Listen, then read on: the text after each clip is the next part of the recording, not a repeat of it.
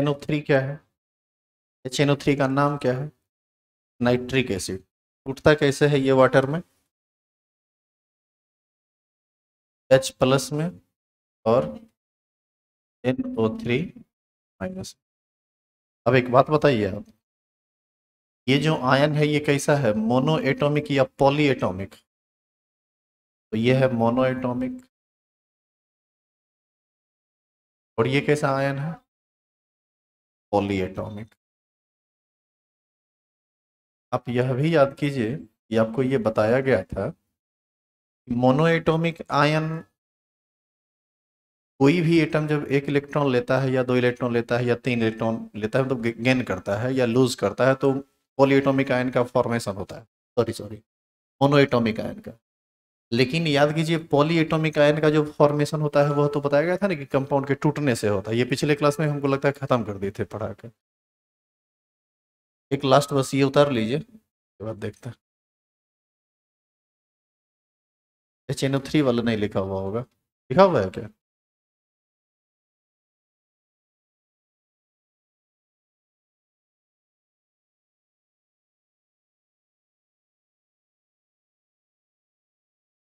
पर्दा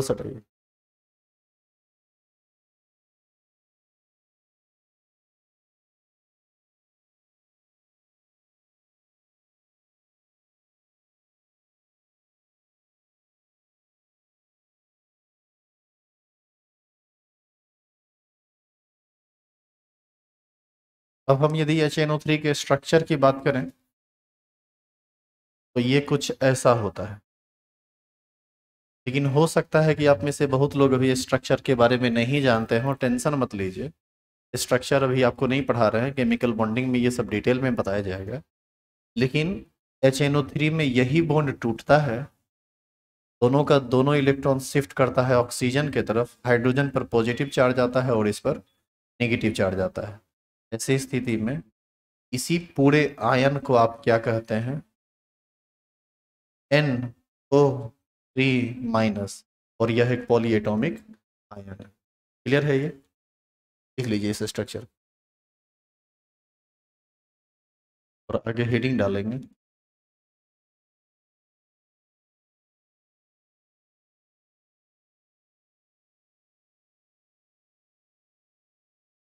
आगे हेडिंग डालिए वैलेंसी अच्छा अभी आप ज़्यादा परेशान मत होइएगा इन सब चीज़ों के स्ट्रक्चर के लिए।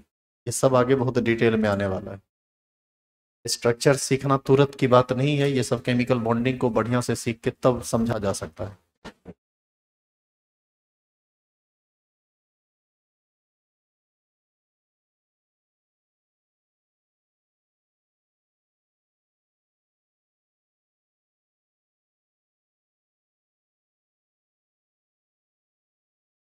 हीटिंग डाल दिए वैलेंसी लिखेंगे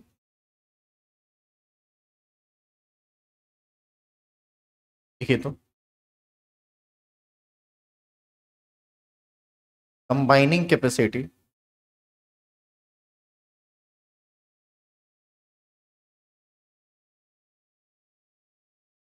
of an element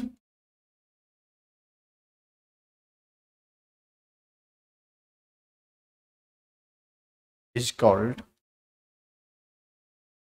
valency किसी भी एलिमेंट के जुड़ने की जो क्षमता होती है, उसी को हम क्या कहते हैं?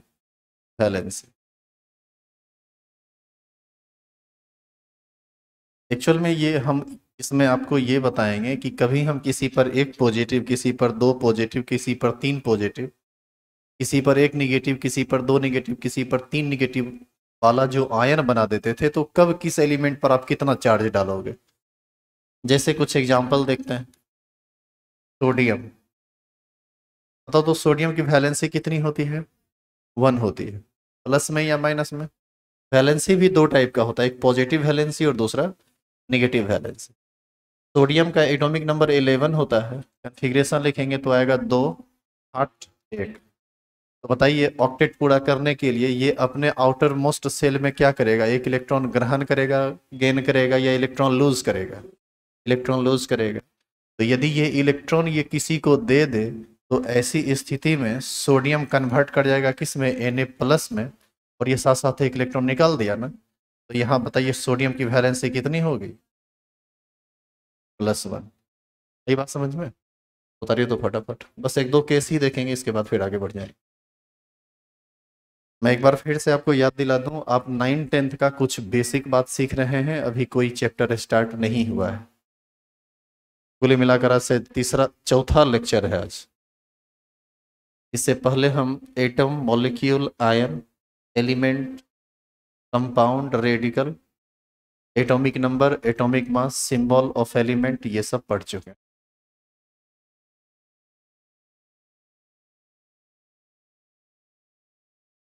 हो गया?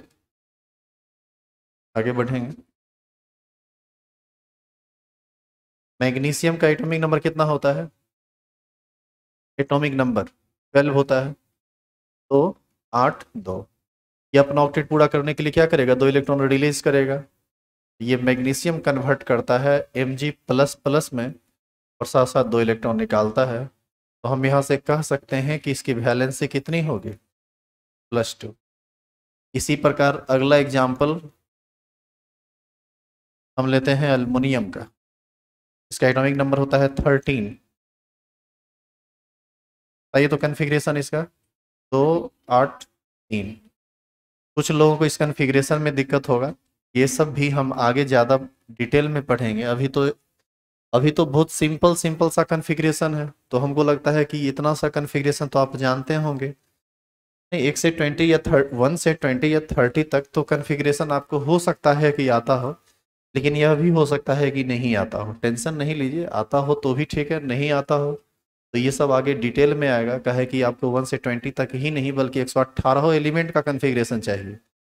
और ये रटने की चीज़ नहीं होती है, ये ढंग से समझने की चीज़ होती है। इसको हम आगे जब स्टार्ट करेंगे टॉपिक तब अपने आप आ जाएगा। ये कितना इलेक्ट्रॉन लूज करेगा? तीन। और ये कन्वर्ट करेगा एल एल थ्री प्लस में। और तीन इलेक्ट्रॉन को लूज करेगा तो ऐसी स्थिति में इसकी जो वैलेंसी होगी, वो कितनी हो जाएगी? प्लस थ्री तो आप एक चीज़ देख रहे हैं कि किसी भी एलिमेंट पर जो हम चार्ज दे रहे हैं, वह अपने मन से नहीं दे रहे हैं। हम इस हिसाब से दे रहे हैं कि उसके आउटर मोस्ट सेल में इलेक्ट्रॉन की संख्या क्या है? अब इसी के जगह पर यदि आप सिलिकॉन की बात कीजिए, जिसका एटॉमिक नंबर कितना होता है? फोर्टीन इसका कन्फिग्रेशन होता है दो, आठ रुकिए अब यहाँ थोड़ा समझिए। इसके आउटर मोस्ट सेल में कितना इलेक्ट्रॉन है? चार। अब बताइए तो ये इलेक्ट्रॉन लूज करेगा या गेन करेगा या दोनों काम कर सकता है? बोलिए। अच्छा एक काम करते हैं। हम हम इस पर बाद में विचार कर लेंगे। इसको थोड़ा सा पेंडिंग रखना है। अभी इसको रोक रोक देते हैं। पहले कुछ और बात सीखते हैं तो आपका कन्फ्यूज़न थोड़ा और दूर होगा। क्या आप यहाँ तक उतार लिए हैं। तो अगला एग्ज़ाम्पल उतारिए तो।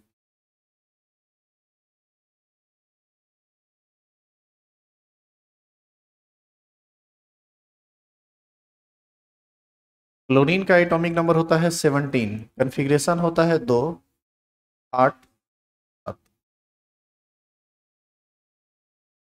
बताइए, ये अपना ऑक्टेट पूरा करने के लिए आउटर मोस्ट सेल में इलेक्ट्रॉन गेन करेगा या आउटर मोस्ट सेल से इलेक्ट्रॉन लूज करेगा? देखिए ऑक्टेट पूरा करने के लिए इसके पास दो ऑप्शन है। एक है ये अपने आउटर मोस्ट सेल से सातों इलेक्ट्रॉन निकाल दे। ऐसी स्थिति में आउटर मोस्ट सेल से यदि सातों का सातों इलेक्ट्रॉन निकल जाएगा तो इसका थर्ड सेल ही समाप्त हो जाएगा और दो सेल बचेगा, जिसमें फ़र्स्ट सेल में दो और सेकेंड सेल में आठ इलेक्ट्रॉन बचेगा। ये, इसके पास एक ऑप्शन ये है और एक दूसरा ऑप्शन ये है यह अपने आउटर मोस्ट सेल में एक और अतिरिक्त इलेक्ट्रॉन किसी से गेन कर ले और सात इलेक्ट्रॉन पहले से था एक और इलेक्ट्रॉन आ जाएगा तो इसका ऑक्टेट पूरा हो जाएगा और आउटर मोस्ट सेल में आठ इलेक्ट्रॉन हो जाएगा। बताइए दोनों ऑप्शन में किस ऑप्शन को ये फॉलो करेगा? गेन करने वाला या, या देने रिलीज़ करने वाला लूज करने वाला? गेन करने वाला। अब बताइए तो दोनों में गेन करने वाला बात ही आप क्यों बोले? इसका रीजन क्या है? अरे भाई लेन देन चल रहा है तो अभी तक एगो दो गो दिया था सात गो दे देता तो क्या दिक्कत था? पहले आप ये बताइए कि किसी एटम से एक एक बार में सात सात इलेक्ट्रॉन निकलेगा इस तरह से? क्यों नहीं निकलेगा? इसका कारण बताइए। इसके पीछे का रीजन क्या है? इसके न्यूक्लियस में टोटल सत्रह प्रोटॉन होगा, क्योंकि इसका एटॉमिक नंबर कितना है? सेवनटीन और आउटर मोस्ट सेल में जो इलेक्ट्रॉन है, उसके साथ ही अट्रैक्ट हो रहा होगा। कौन? ये न्यूक्लियस उसको खींच रहा होगा ना जी? तो जब आप एक इलेक्ट्रॉन निकाले, दो इलेक्ट्रॉन निकाले, तीन इलेक्ट्रॉन निकाले तो क्या उस समय ये न्यूक्लियस मुँह बैठ, देखेगा बैठ के? तो ऐसी स्थिति में आप किसी भी एटम के आउटर मोस्ट सेल से सात सात इलेक्ट्रॉन को निकाल नहीं सकते हैं। इसके लिए आसान होगा एक इलेक्ट्रॉन गेन करके ऑक्टेट को पूरा करना। तो ये क्या करेगा क्लोरीन एक इलेक्ट्रॉन गेन करेगा और कन्वर्ट कर जाएगा सी एल माइनस में। और चूँकि ये एक इलेक्ट्रॉन गेन किया है, और आप याद कीजिए पिछला क्लास में बताया गया था, इलेक्ट्रॉन गेन करने पर एक निगेटिव चार्ज पड़ता है तो ऐसी स्थिति में इसकी वैलेंसी क्या हो जाएगी? माइनस वन इसी जगह पर यदि आप सल्फ़र की बात करें, जिसका एटॉमिक नंबर सिक्सटीन होता है कन्फिग्रेशन होगा दो, आठ छ ये कितना इलेक्ट्रॉन गेन करेगा? दो। तो सल्फ़र दो इलेक्ट्रॉन को यदि गेन कर ले तो ये कन्वर्ट कर जाएगा किसमें? Sulphide ion S two minus में। क्योंकि ये दो इलेक्ट्रॉन गेन कर लेगा तो इसका ऑक्टेट नहीं पूरा हो जाएगा। इसी तरीके से यदि हम बात करें यहाँ पर किसकी फॉस्फोरस की, जिसका एटॉमिक नंबर कितना होता है? फिफ्टीन कन्फिग्रेशन होगा दो, आठ, पाँच। ये तीन इलेक्ट्रॉन गेन कर लेगा और फॉस्फोरस तीन इलेक्ट्रॉन को गेन करके फॉस्फाइड आयन बना देगा एफ़ थ्री माइनस तो अब आप देखिए कि जब सात इलेक्ट्रॉन था, तब भी इलेक्ट्रॉन गेन किया। पाँच इलेक्ट्रॉन, छह इलेक्ट्रॉन था, तब भी गेन किया, और जब आउटर मोस्ट सेल में पाँच इलेक्ट्रॉन था, तब भी गेन किया। अब यहाँ पर यदि हम सिलिकॉन की बात करें, इसका एटॉमिक नंबर फोर्टीन होता है तो ये क्या क्या कर सकता है? यह इलेक्ट्रॉन ले भी सकता है, और इलेक्ट्रॉन दे भी सकता है। लेकिन आप इस बात को जानिए कि किसी भी एटम के लिए चार इलेक्ट्रॉन को गेन करना या चार इलेक्ट्रॉन को लूज करना एक बहुत टफ काम है। टफ इसलिए है क्योंकि न्यूक्लियस के न्यूक्लियस में टोटल 14 पॉजिटिव चार्ज है, क्योंकि टोटल 14 प्रोटॉन है। और यह चार इलेक्ट्रॉन को यदि रिलीज़ करेगा तो जैसे देखो, पहले क्या था कि न्यूट्रल एटम में चौदह प्रोटॉन था और चौदह इलेक्ट्रॉन था। यदि एक रिलीज़ कर दिया तो एस आई पर एक पॉजिटिव आ जाएगा। अब बताइए, चौदह पॉजिटिव चार्ज और तेरह ही निगेटिव चार्ज बचेगा। तो आपको ऐसा नहीं लगता है कि एक इलेक्ट्रॉन निकलने के बाद यह चौदह प्रोटॉन इस तेरह इलेक्ट्रॉन को और ज़्यादा खींचना शुरू कर दिया होगा? एक और यदि आप निकाल दिए तो दो पॉजिटिव चार्ज इस पर आ जाएगा। और ऐसी स्थिति में आपको नहीं लगता है कि चौदह प्रोटॉन अब बारह इलेक्ट्रॉन को ही खींच रहा है तो पहले की तुलना में और ज़्यादा अट्रैक्शन हो जाएगा? यदि एक और इलेक्ट्रॉन निकाल दिया तो यहाँ मात्र ग्यारह इलेक्ट्रॉन बचेगा और पहले की तुलना में और ज़्यादा अट्रैक्ट हो जाएगा। और यदि आप एक और इलेक्ट्रॉन निकाल रहे हैं तो यहाँ पर मात्र कितना इलेक्ट्रॉन बचेगा? दस। और इस पर चार्ज कितना आ जाएगा? पॉजिटिव चार। फोर पॉजिटिव तो ऐसी स्थिति में ये जो जैसे जैसे हम इलेक्ट्रॉन को निकालते चले गए जैसे जैसे इलेक्ट्रॉन की संख्या बढ़ती चली गई निकलने वालों की वैसे वैसे न्यूक्लियस का आउटर मोस्ट सेल में उपस्थित जो इलेक्ट्रॉन है, उसके साथ जो अट्रैक्शन होगा वो बढ़ता चला जाएगा। तो ऐसी स्थिति में ये जो सिलिकॉन होता है ना, ज़्यादातर इलेक्ट्रॉन का लेन देन करता ही नहीं है। यहाँ पर इलेक्ट्रॉन का लॉस गेन होता ही नहीं है। जनरली ये इलेक्ट्रॉन का शेयरिंग करता है और आप याद कीजिए इलेक्ट्रॉन के लॉस गेन से आइनिक बॉन्ड का फॉर्मेशन होता है और इलेक्ट्रॉन के शेयरिंग से कोवेलेंट या कोऑर्डिनेट बॉन्ड का फॉर्मेशन होता है। शायद कोऑर्डिनेट बॉन्ड अभी आप नहीं पढ़े हो। कोई जानते हैं कोऑर्डिनेट बॉन्ड के बारे में? नहीं जानते हैं? कोई बात नहीं, ये हम आगे जानेंगे बढ़िया से। जानिए इलेक्ट्रॉन के शेयरिंग से दो तरह का बॉन्ड बनता है, एक कोवैलेंट बॉन्ड बनता है और दूसरा कोऑर्डिनेट बॉन्ड बनता है। और इलेक्ट्रॉन के लॉस गेन से आयनिक बॉन्ड का निर्माण होता है। चूँकि आयन पॉजिटिव आयन बनेगा या निगेटिव आयन बनेगा तो वहाँ पर positive negative electrostatic force of attraction काम करता है तो वो कंपाउंड बनता है। ये सब केमिकल बॉन्डिंग का बात है, अभी बेसिक में हम लोग इस चीज़ को डिस्कस नहीं करें।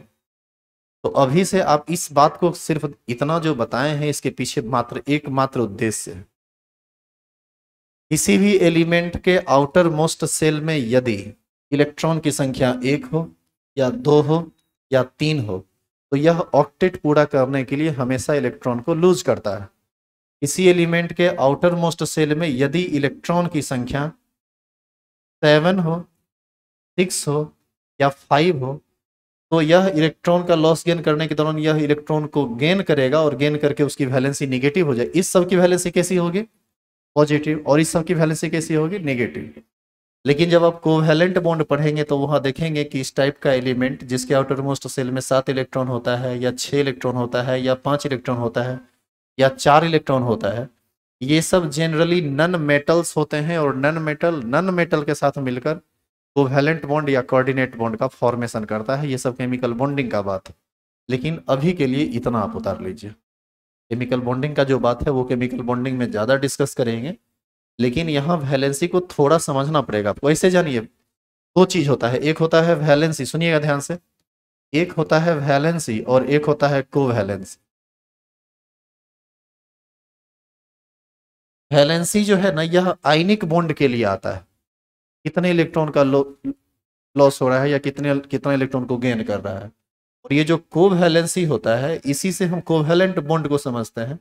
उसमें हम ये समझते हैं कि कोई एटम अपने अराउंड कुल कितने कोवैलेंट बॉन्ड का फॉर्मेशन किया है। तो कोवैलेंसी के बारे में अभी हम बात नहीं करेंगे, ये हम केमिकल बॉन्डिंग में बात करेंगे। अभी एक साधारण टर्म को वैलेंसी समझिए। हालाँकि एक बात जानिए, वैलेंसी टर्म कहीं से साधारण नहीं है। ये एक असाधारण टर्म है, जिसको आप सब दिन सीखते रहेंगे कि इसका वैलेंसी कैसे निकलेगा, क्या होता है और डिटेल में।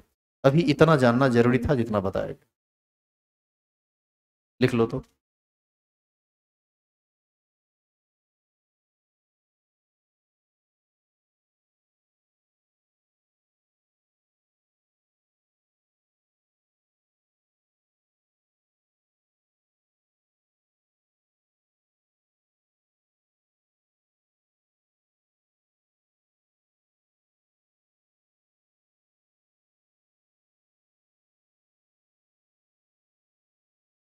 हो गया यहाँ तक?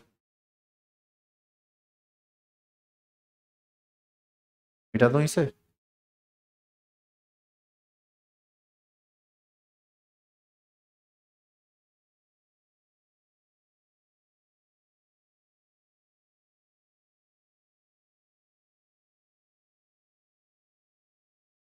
तो पिछला दिन आयन और रेडिकल का जब हम आपको केस बता रहे थे तो आप देख रहे थे कि किसी चीज़ पर हम एक प्लस किसी पर दो, प्लस किसी पर दो, माइनस दे देते हैं।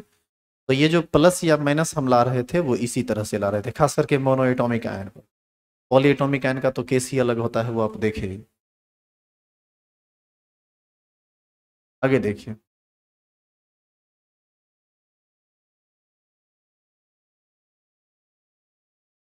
कैल्शियम फॉस्फेट एक केमिकल होता है, एक केमिकल कंपाउंड।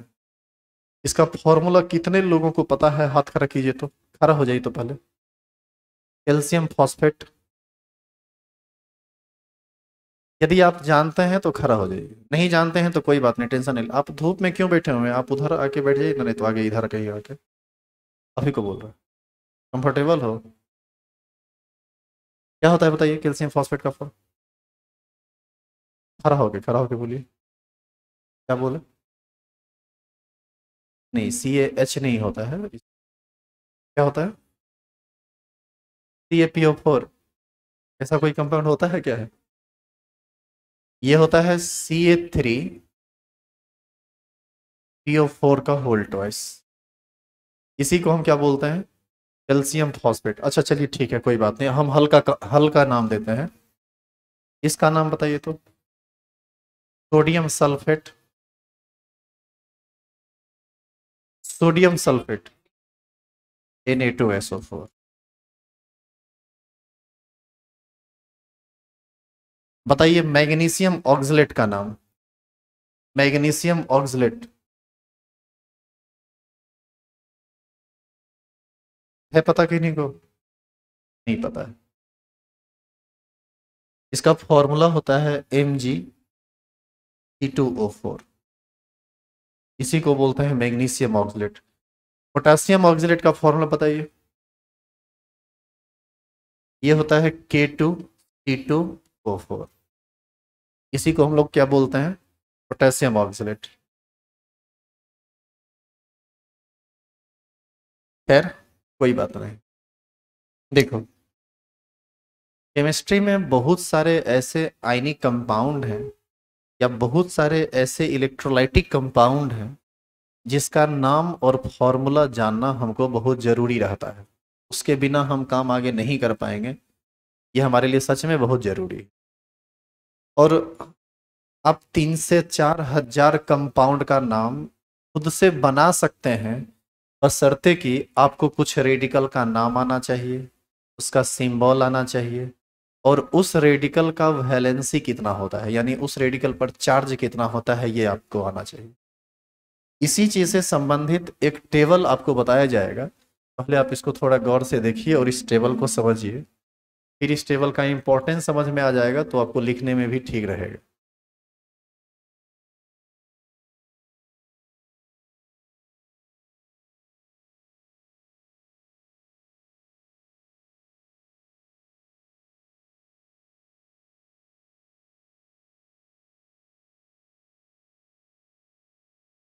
अभी आप कुछ हेडिंग नहीं ना डाले हैं? पहले आप इसको देखिए यहाँ पर लिखा हुआ है बेसिक और electropositive radical with fix valency मतलब इस टेबल के अंतर्गत हम उस रेडिकल के बारे में पढ़ेंगे, जिसका वैलेंसी सिर्फ़ और सिर्फ़ पॉजिटिव होता है और फिक्स वैलेंसी होता है। देखो, कुछ ऐसे भी एलिमेंट्स हैं जो वेरिएबल वैलेंसी शो करते हैं। जैसे एक आध को एग्ज़ाम्पल बताओ तो ऐसा ऐसा एलिमेंट जिसका वेरिएबल वैलेंसी होता है। आयरन। आयरन? नहीं, ये कॉप, कॉपर भी। आयरन का दो नाम आप जानते होंगे, फेरस और फेरिक। कॉपर का जानते होंगे, क्यूप्रस, क्यूपरिक। इसी तरह मैग्नीज, मैग्नस, मैग्निक भी होता है। इसी तरह से पीबी प्लम्बस, प्लम्बिक होता है, जिसको हम लोग लेड कहते मरकरी, दो तरह का वैलेंसी होता है। Mercurous, mercuric. S N tin stannous stannic तो ये सारे एलिमेंट्स ऐसे हैं जिसका वैलेंसी वेरिएबल होता है। अलग अलग स्थिति में अलग अलग तरह का वैलेंसी शो करता है। जैसे आयरन क्लोरीन के साथ मिलकर दो तरह का कंपाउंड बनाता है। एक बनाता है फेरस क्लोराइड, एक बनाता है फेरिक क्लोराइड। तो किस स्थिति में वह फेरस होता है, किस स्थिति में वह फेरिक होता है, इन बातों को थोड़ा समझना पड़ेगा। और जैसे देखिए एफ़ यदि हम कहें तो ये फेरस क्लोराइड है। और यदि हम F E C L three लिखें तो यह फेरिक क्लोराइड है। तो हम कैसे समझेंगे कि कोई फेरस क्लोराइड है या कोई फेरिक क्लोराइड है? इन सब चीज़ों को आप इस टेबल के माध्यम से समझ सकते हैं। देखो, किसी भी कंपाउंड का जब हम फॉर्मेशन करते हैं इस तरह के कंपाउंड का तो उसमें रेडिकल के नाम से हमको रेडिकल के सिंबल पर जाना पड़ता है। जैसे हमने अभी कहा कि आप नाम लिखिए पोटासियम सल्फेट। ये ऑक्जिलेट था शायद। पोटासियम ऑक्जिलेट तो बताइए, पोटासियम का सिंबल क्या होता है? के होता है। तो हम क्या क्या करेंगे? हम लिख देंगे के फिर हम चेक करेंगे पोटासियम की वैलेंसी कितनी होती है। पोटासियम एक इलेक्ट्रोपॉजिटिव रेडिकल है। इसका वैलेंसी होता है प्लस वन तो इसकी वैलेंसी वन होती है, हम इसको वन लिखते हैं। अब हम इस टेबल में आगे आपको मिलेगा ऑक्जिलेट जो है ना सी टू ओ फोर यह एक निगेटिव रेडिकल है, क्योंकि इस पर चार्ज कैसा होता है? निगेटिव और ऑक्सिलेट का फॉर्मूला होता है C two O four two minus ये होता है फॉर्मूला या फिर बाद में लिखेगा तो सिर्फ़ टू ही लिखेगा तो कोई दिक्कत नहीं। और इस दोनों से मिलने के बाद जब कंपाउंड बनता है तो हम लोग इस वैलेंसी को एक्सचेंज करते हैं। ये सब बात आप सीखे होंगे नाइन टेन और जब एक्सचेंज करके कंपाउंड बनाते हैं तो ये होता है के टू टी टू तो हम लोगों को ये फॉर्मूला डायरेक्ट नहीं सीखनी है। हमको सीखना है इलेक्ट्रोपोजिटिव रेडिकल का नाम, उसका सिंबल और उसका वैलेंसी ताकि कोई दूसरा भी कंपाउंड हमको ऑक्सिलेट से संबंधित दे तो हम बना सके। जैसे, आपसे हम यदि पूछें कि कैल्शियम ऑक्जिलेट का फॉर्मूला क्या हो तो बताइए कि, सुनिए पहले, इसमें बताइए कि ऑक्जिलेट का यूज़ हुआ है कि नहीं यहाँ? यदि हमको ऑक्जिलेट याद है तो किसी कंपाउंड का परफेक्टली हमको फॉर्मूला याद करने की कोई ज़रूरत? नहीं है। कैल्शियम का सिंबल होता है सी ए, वैलेंसी होता है दो। और ऑक्जेलेट का भी तुरंत आप देख ही रहे हैं, C two O four, valency, इसका भी कितना होता है टू। तो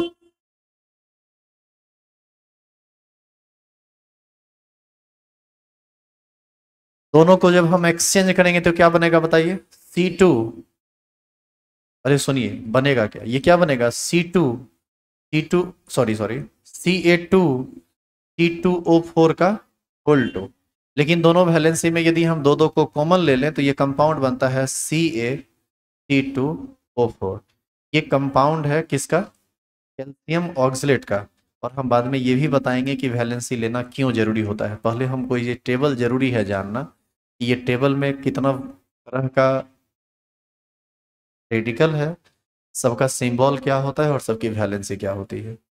तो जितना तरह का रेडिकल होता है, ये सारा टाइप इसमें आपको लिखा हुआ मिलेगा। लेकिन आप ध्यान दीजिए, ये बेसिक और इलेक्ट्रोपॉजिटिव रेडिकल है तो इसमें आपको सिर्फ़ पॉजिटिव वैलेंसी वाला ही मिलेगा निगेटिव वैलेंसी वाला नहीं मिलेगा। किसी भी कंपाउंड के फॉर्मेशन में आप देखते होंगे, पहले रहता है पॉजिटिव वैलेंसी और बाद में रहता है निगेटिव ऐसे समझिए, पहले रहता है पॉजिटिव रेडिकल और बाद में रहता है निगेटिव रेडिकल जैसे सोडियम क्लोराइड में बताओ तो कौन कौन रेडिकल होगा?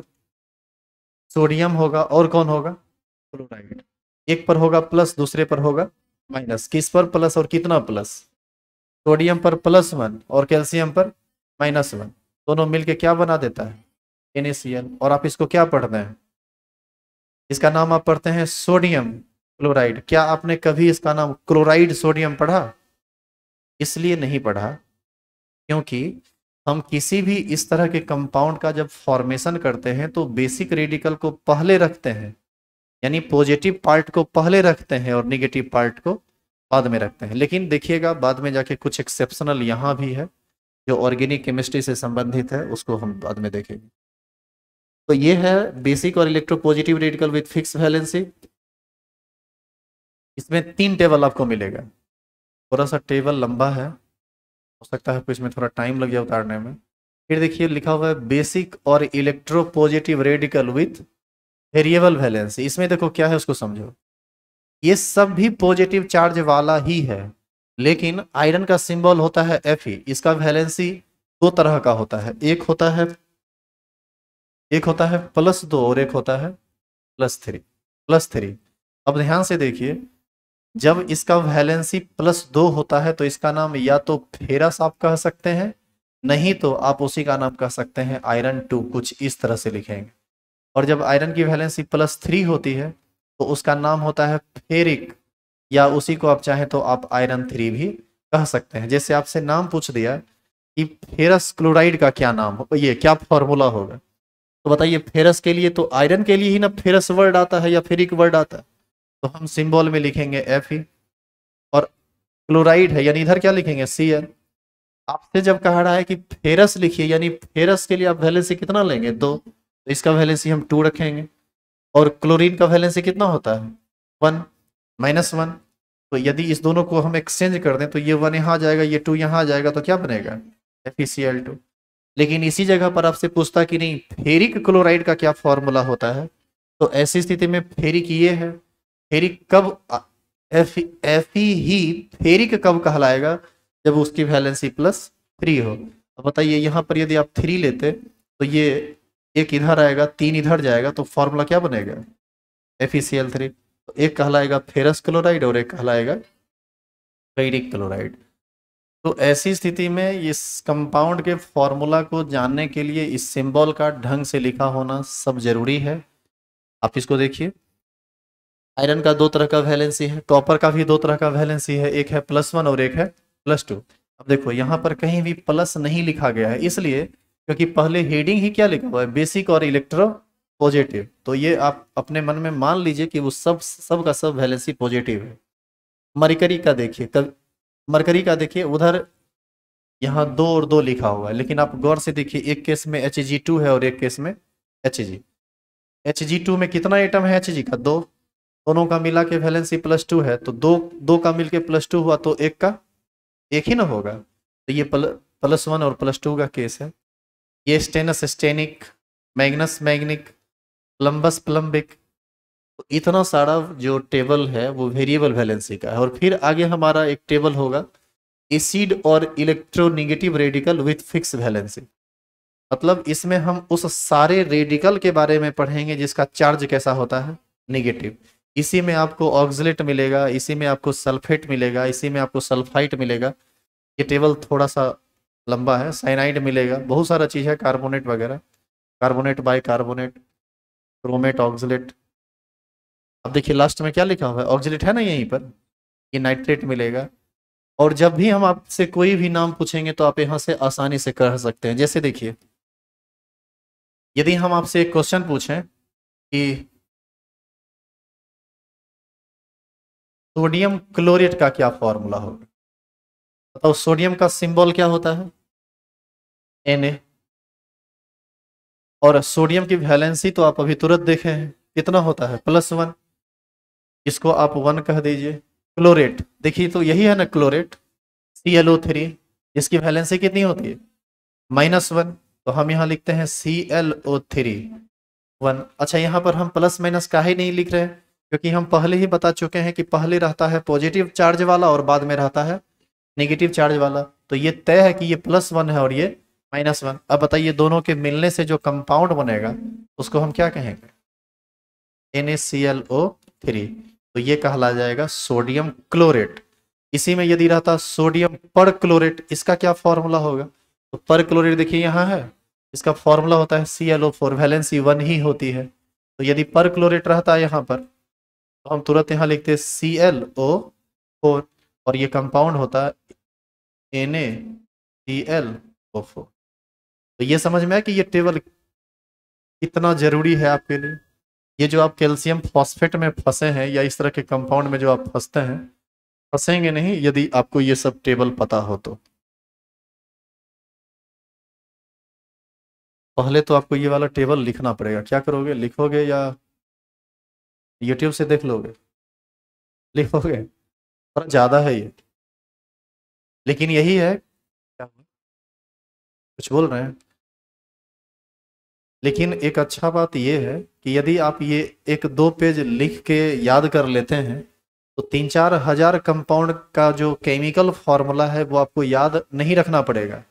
वो आप अपने दिमाग से निकाल के बना सकते हैं। और यकीन मानिए, जितना ज़रूरी चीज़ है जो सबसे ज़्यादा ज़रूरी रेडिकल है, उस सब रेडिकल को तो हम धीरे धीरे आपको याद करवा देंगे या ऑटोमेटिक याद हो जाएगा वो। है कि इतना ना, ज़्यादा बार यूज़ कीजिएगा कि फटाफट ये अपने से करने लगोगे। दूसरी बात है कि सबको रटना भी ज़रूरी नहीं है। आप याद कीजिए एटॉमिक नंबर और एटॉमिक मास में हम स्टार लगवाना दिए थे कि कौन याद करना है कौन नहीं। उसी तरह से इसमें भी लगा देंगे, ताकि जो ज़रूरी रेडिकल है आप उतना याद रख सकें। बाद बाकी कॉपी पर लिख ज़रूर लीजिए। कहे कि कहीं लिखा हुआ मिल जाए तो आप इससे देख के उसको समझ सकें। स्टार लगाइए और लिखिए तो। टेबल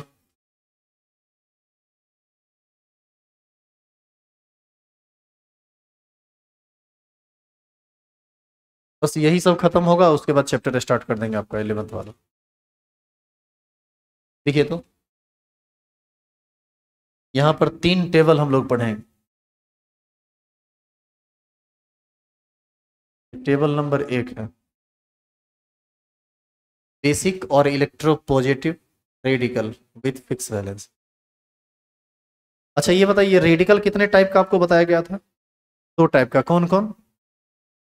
पॉजिटिव रेडिकल और निगेटिव रेडिकल आप याद कीजिए पॉजिटिव रेडिकल को ही हमने बेसिक रेडिकल भी कहा था और निगेटिव रेडिकल को ही हमने एसिडिक रेडिकल कहा था। कोई आदमी इस बात का जवाब दे सकते हैं कि पॉजिटिव रेडिकल को बेसिक रेडिकल क्यों कहा जाता है?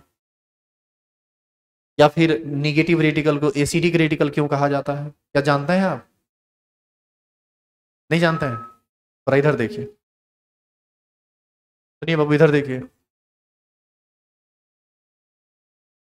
पहले आप ये बताइए एच एन ओ थ्री क्या है? यह एक एसिड है। नाम है इसका नाइट्रिक एसिड कॉमन सिस्टम में, और हाइड्रोजन नाइट्रेट सिस्टमेटिक सिस्टम में या आईयूपीएससी सिस्टम में। ये टूटता कैसे है? H प्लस में और NO3 थ्री माइनस में आपको यहाँ पर कितना तरह का रेडिकल मिला? दो तरह का एक पॉजिटिव और दूसरा नेगेटिव आप थोड़ा इस रेडिकल को देखिए। ये रेडिकल किससे छूट के आया है? H प्लस से। यह एक वह हर चीज़ जो H प्लस दे उसको हम एसिड कहते हैं। और बताइए एसिड से ही ना ये रेडिकल बना है? इसीलिए इसको क्या कहा जाएगा? एसिडिक रेडिकल और एसिड से जितना रेडिकल बनेगा, उस सब पर चार्ज माइनस होगा, क्योंकि हर एक एसिड जब टूटता है तो वो क्या देता है? H प्लस एक एक तरफ़ प्लस देगा तो दूसरे तरफ़ माइनस ही ना देगा जी। जैसे, यदि हम H2SO4 की बात करें H2SO4 भी एक एसिड है। नाम क्या है इसका? Sulphuric acid. ये टूटता है 2H प्लस में, और SO4 2 माइनस में। अब बताइए, ये तो H प्लस दिया, इसलिए एसिड है, और इसके साथ जो रेडिकल आया, वो निगेटिव रेडिकल होगा, और निश्चित है कि इसको हम एसिडिक रेडिकल कहेंगे, क्योंकि ये एसिड से ही ना टूट के आया है। इसी प्रकार पॉजिटिव रेडिकल को क्या कहा जाता है? बेसिक रेडिकल क्यों कहा जाता है? क्योंकि वह हर चीज़ जो टूट कर ओ OH माइनस दे, उसको हम बेस कहते हैं, और ओ OH माइनस के साथ ओ एच माइनस के साथ हमेशा कौन चीज़ आएगा? पॉजिटिव पार्ट आएगा। माइनस वाले के साथ तो माइनस वाला पार्ट ही तो नहीं रहेगा। जैसे एन ए ओ एच कैसे टूटेगा बताइए? ये टूटेगा एन ए प्लस में और ओ एच माइनस वह हर चीज़ जो टूट के ओ एच माइनस दे, उसे हम बेस कहते हैं। और ये जो एन ए प्लस मिला, ये रेडिकल कहाँ से आया? बेस से। इसीलिए इसको क्या कहा जाएगा? बेसिक रेडिकल और ये तय है कि बेसिक रेडिकल पर हमेशा चार्ज कैसा रहेगा? पॉजिटिव क्लियर है ये?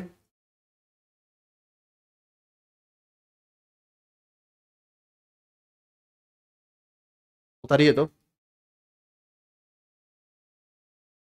कितना उतार सकते हैं? आज उतार लीजिए, कल उतार लीजिएगा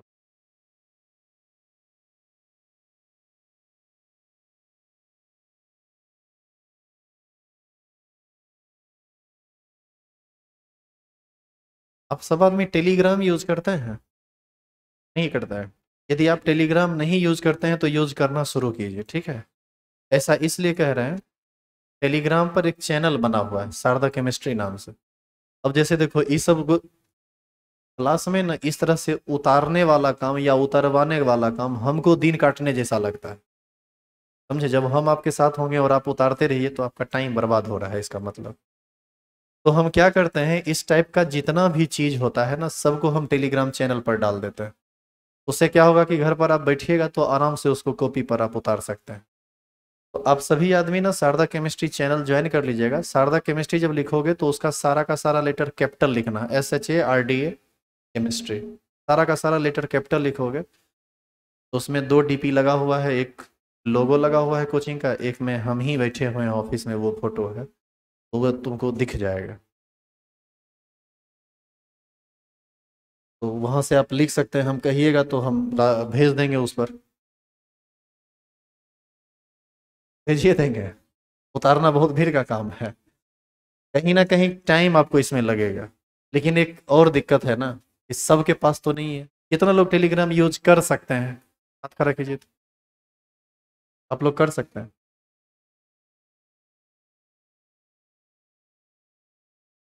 क्या अच्छा जो लिखेगा उसे वो लिख लेगा। तो एक काम करें, इसको हम ड्रॉप करते हैं यहीं पर आज, ठीक है? हम अभी तुरंत उसको टेलीग्राम पे भेज देते हैं। आप लोग अपना देख लीजिएगा, वहाँ से उतार लीजिएगा। कल उतार के आइएगा? पक्का ना? ठीक है, अभी 10 से 15 मिनट में हम उस पर भेज देंगे, ठीक है? अच्छा एक चीज़ देखना उस पर शारदा केमिस्ट्री हो सकता है उसमें, ना, बहुत सारा गड़बड़ भी बना देता है, वो अपने से बना देता है। 1.2 या 1.3 के सब्सक्राइबर उसमें पहले से है, ठीक है? और उसमें कुछ नहीं करना है। अच्छा एक चीज़ और, वो काफ़ी सिक्योर है। यदि आपको ज्वाइन करना होगा तो ज्वाइन पर दबा दीजिएगा और लीव करना होगा तो लीव कर जाइएगा। उसमें किसी का मोबाइल नंबर या किसी का जो पर्सनल डाटा होता है, वो लीक नहीं होता है। वो तो इतना सिक्योर है कि उसको हम भी नहीं देख सकते। हैं यदि आप टेलीग्राम चैनल का एक सबसे बड़ा खासियत है कि यदि आप हमारे चैनल से जुड़ते हैं तो आपका जो पर्सनल डाटा है, चाहे वो फ़ोन नंबर हो या अन्य चीज़ हो, वो हम तक भी नहीं पहुंचेगा।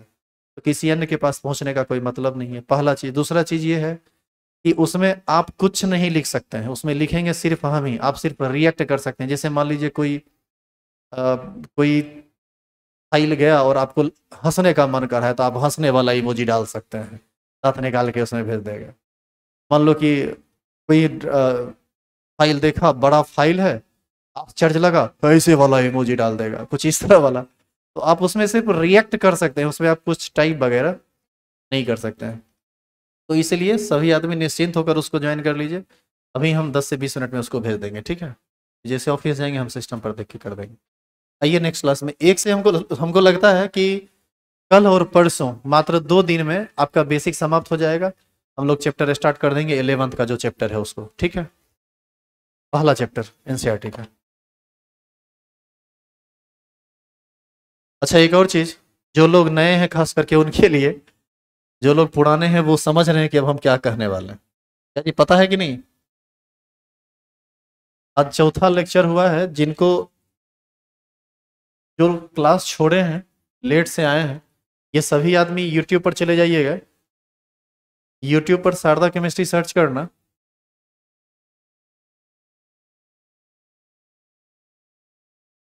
शारदा केमिस्ट्री क्लासेस, बेगूसराय, बिहार, अपने आप आ जाएगा वहाँ।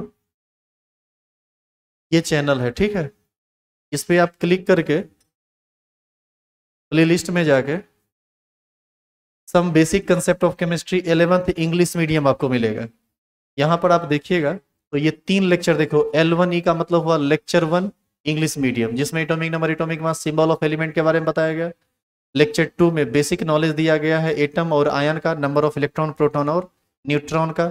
लेक्चर नंबर थ्री में elements, compounds, radical, ion, monoatomic ion, polyatomic ion के बारे में बताया गया था, याद कीजिए पिछला क्लास, सैटरडे वाला। और चौथा लेक्चर अभी हुआ है जिसकी रिकॉर्डिंग चल रही है। वो आप जैसे ही जाएँगे, कुछ देर में अपलोड हो जाएगा। तो जो भी लोग लेट से आए हैं, आपसे निवेदन होगा कि एक बार इसको देखकर तब आइएगा। तो ज़्यादा कंफर्टेबल फील कीजिएगा, ठीक है? बाकी किसी तरह का दिक्कत हो तो यहाँ आके पूछ लीजिएगा। हमारे ख्याल से परेशानी नहीं होगी, ठीक है? आइए नेक्स्ट क्लास